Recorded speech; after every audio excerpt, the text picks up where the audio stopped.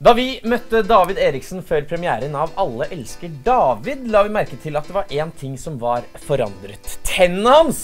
Vi har fått et uh, lite løft. Ja, og vi får jo selvsagt bli med når uh, David blir lovet tenner som vil få han til å se 20 år yngre ut. De der her, eh, altså de, det er umulig. Vi har prøvd å bleke de, men det, det er de flekkene som er plast. ikke sant?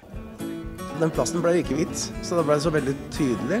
Så da sa tannlegen min at Jeg tenker porselen. Ja, så da gjorde jeg det. Jeg gnisser veldig mye tenner. Jeg har stresstenner som uh, tannlegen kaller det. Jeg gnisser når jeg sover. Og hvis jeg tenker, så, så da, da, da, får man litt slitasje, da. Bytta du det ut, så du trakk de to som var der? nei. nei. nei Det, det, det er uh, ikke byttet ut. Så det, altså, det filer bare litt fram på siden her.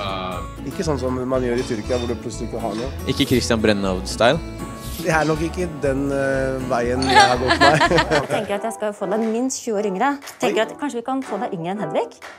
Ja, det, Sånn i tennene? det burde være full mulighet. Er det ikke typisk at han fikser tennene etter han blir singel? er det påfallende, tror du? Prosessen var i gang. Ja, den var Den i- var i gang. Det, jeg Jeg måtte hadde satt den i sving.